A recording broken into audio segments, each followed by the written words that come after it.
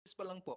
Sinitang ni Senador Francis Tolentino ang ipinatutupad na regulasyon ng Maritime Industry Authority o Marina na nagpapahirap sa mga mangingisdang Pinoy na makakuha ng fishing permit. Sa pagdinig ng Senate Special Committee on Philippine Maritime and Admiralty Zones, hindi nagustuhan ni Tolentino ang sumbong ng mga mangingisda na kinukumpiska ng Marina ang huling isda ng mga ito dahil sa kabigo ang makakuha ng sertifikasyon mula sa ahensya. Sa pahayag ni Michael Ann, isa sa labing isang mangisdang nakaligtas sa nangyaring pagbangga ng isang oil tanker sa sinasakyang bangka nito sa Baho di Masinloc noong Oktubre 2, hirap na hirap ang mga mangingisda na irehistro ang kanilang mga barko dahil sa kawalan ng access ng opisina ng Marina na matatagpuan pa sa Maynila.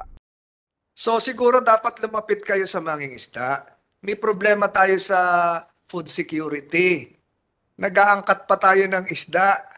Hirap na hirap si Bipar kung saan manghuhuli ng isda. Tayo kayo naman, pinahirapan niyo yung mangingisda na Naniniwala rin si Senator Tol na hirap magka-permit ang mga mangingisda dahil sa kawalan ng satellite offices ng Marina. Ayon sa Marina, dati na silang may opisina sa Clark, Pampanga, ngunit isinara na ito. Pero gayon pa man, kinestyon ni Tol dahil sa kung bakit nasa Clark ang lokasyon ng opisina kung ang mga mangingisda naman ay nasa Zambales.